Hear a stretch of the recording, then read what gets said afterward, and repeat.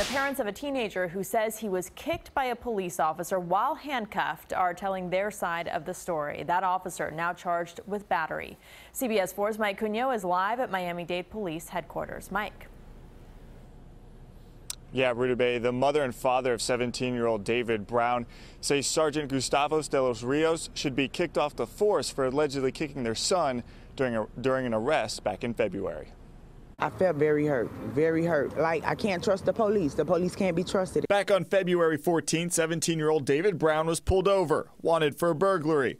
Prosecutors say cell phone video shows Officer Gustavo De Los Rios kicking him after they tried to tase him and put him in handcuffs.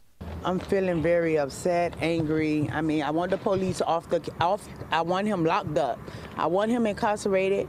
I want him off the force. Prosecutors say Brown fought the police during the arrest. Although the video of the incident hasn't been released, Brown's father thinks the kick was unjustified.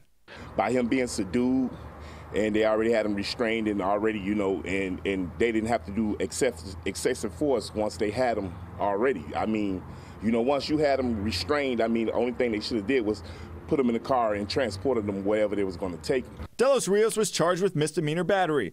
Records also show he was arrested for domestic abuse after an incident with his ex-wife last year.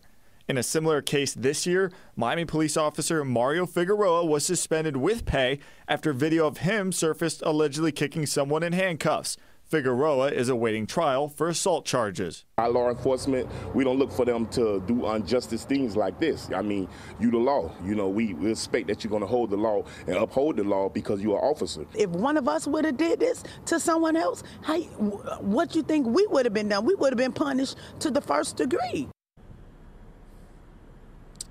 Now, De Los Rios has been suspended without pay. Miami Dade police say his actions are disappointing and do not represent the agency's core values.